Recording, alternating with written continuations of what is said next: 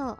なので、まあ、人生初めての APEX の大会に、えー、VTuber 最強決定戦、えー、4月の17日に行われる、えー、V 最強に出させていただくことになりました。でねえっ、とメンバーがえー、ホロライブであの固まっておりまして私湊アクアと、えー、徳闇とあちゃんとあちゃんと、えー、星町すいせいすいちゃんで出場経緯をまず話していこうかな。そうもともとね私ねあのずっとソロマスを目指してまあソロダイヤからなんですけど2年3年近く。えっ、ー、とまあねあの大会自体はすごいねあのまあ興味はあったんだけれどもすごいねみんなもさ大会出ないんですかってそう言ってくれるから大会自体はすごい興味はあったんだけどまあでもまず誘われないし私自体もあのまあ、周りもさ湊赤は大会出ないやろみたいな多分空気がね。まあでもまず自分のやるべきことで精一杯だなと思ってその当時ダイヤ目指してたりソロマズ目指してたり。そうそう。大会に出てもそのなんだろうなこう実力がないから結局出るだけ出て出るならさ勝ちたいじゃんやっぱ。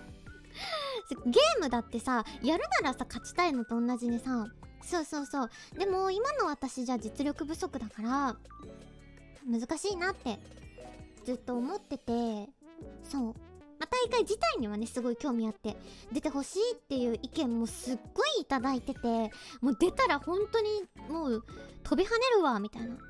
すごい嬉しいコメントもたくさんあってそうまあいつかいつかいつかとは思ってはいたんだけどそうそう。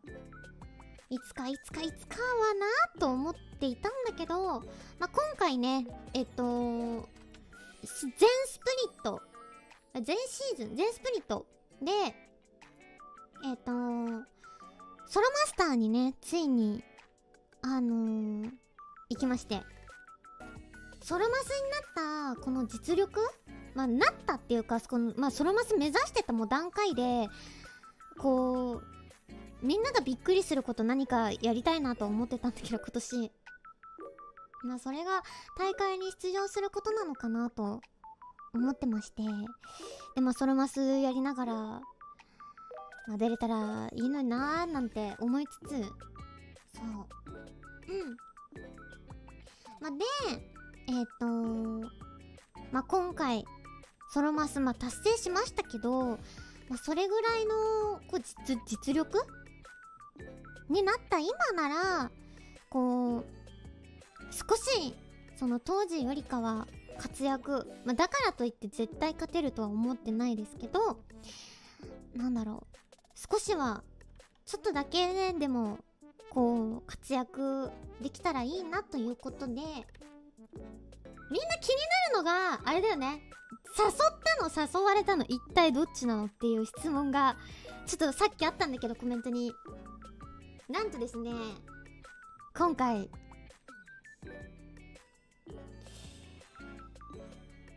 えー、誘いました。リーダー枠もらってたのもらってない。もらってないです。ちょもらってないけどか1回ぐらいこれ最初で最後の大会にしよう1回ぐらい出れんかなと思って。そこにですねなんとですねツイッターで流れてきたんですよ。とわちゃんのツイートが。なんかすごい豪華なねお手紙みたいなのの画像があって。なんか招待状リーダー券みたいなのが来てて。えすごいこれってやっぱり招待制やったんやと思って私知らなくてさ大会とかどうやって出るのか知らなかったからあのー、そのツイート見た見てからさとわちゃんにさあのー、全然さそれまでさなんかそんなめちゃめちゃチャットする中ではなかったんだけどさ「とわちゃんとわちゃんそういえばなんかなんかなんか V 最強出るって本当?」みたいな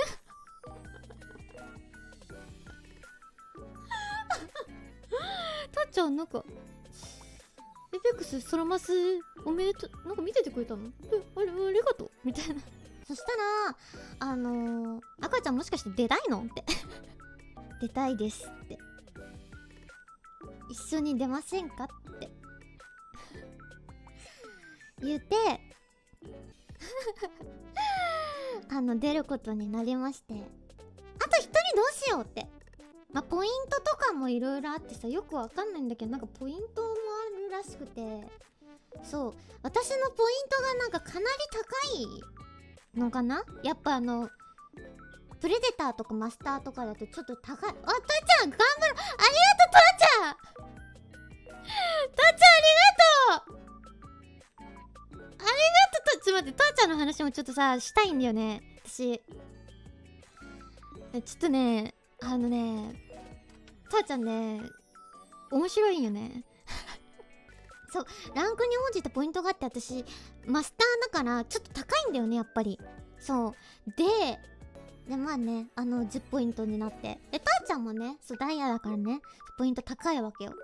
だからあと1人どうしようねって。まあ私の中でまあ、1人 Apex を一緒にしたい人っていうのがいて。そうそれが、スイちゃんだったんだよね。前の1年前だね。だからにスイちゃんと最後あのー、2人でカジュアル Apex をしてから私 Apex しなくなったんよね、まあ、してたんだけどそれまでもちょっと。せっかくならもうちょっとおしゃべりして Apex したかったなって。やっぱ心残りがあってさ。そう。陽キャの圧にやられちまったからさで「スイちゃんどう?」って私が提案して「あいいじゃんスイちゃん」みたいなであのー、3人でスイちゃんに私が「あのー、スイちゃんエーペックス興味ない?」って言ってスイちゃん「えいいの?」みたいな「そういうの出たことないからちょっと気になる」みたいなスイちゃんねすごいなんかあの喜んでくれてそう。で今回3人で出ることになりまして。アクターに誘われたらそりゃね。そう。あそうだ。あのさっきもねコメントであったんだけどそう。あのコーチどうするの？みたいな。そうなんかね VTuber 決定戦で、まあ、すごいねあのー、お祭りみたいな感じとはいえどもやっぱみんな強くてみんなガチな大会なわけですよ。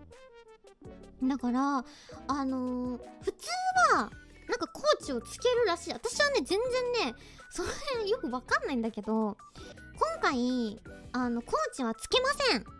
まあ、コーチどうするって話がちらっと出たんだけど最初チーム組んだ時に。私もソロマス目指すとかっていうタイミングでやっぱコーチなんてつけないわけよ。そう。で自分で考えて自分で調べて自分でここがどうなったかって反省して私はこうね実力的に強くなったからやっぱりまあこういう大会に出る、まあ、コーチがいるからといっていないからといってあのー、真剣じゃないわけではなくて私はやっぱつけないで3人で考えて3人で意見を出し合ってこうまあ衝突することがね中にはもしかしたらあるかなとは思うんだけどでもそれも一つのチームとしてのこうなんだろうなまとまりなのじゃないかなと思ってて。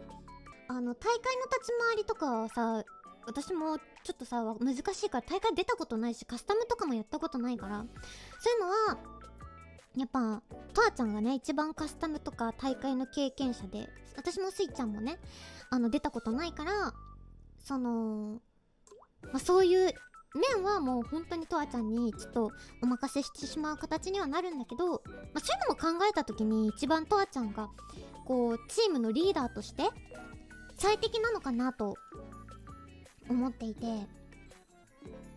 そう。なんかとわちゃんに「あかちゃんリーダーやる?」って「いやでも私は無理。やりたくない。無理だ!」って。とわちゃんにやってほしいって。スイちゃんもそう思うよね。おいスイちゃんなんでもいいよ。みたいな。そう。ということであのとわちゃんにお任せしました。正直私本当にこれ最初で最後の大会にしたいなって思ってるんですよ。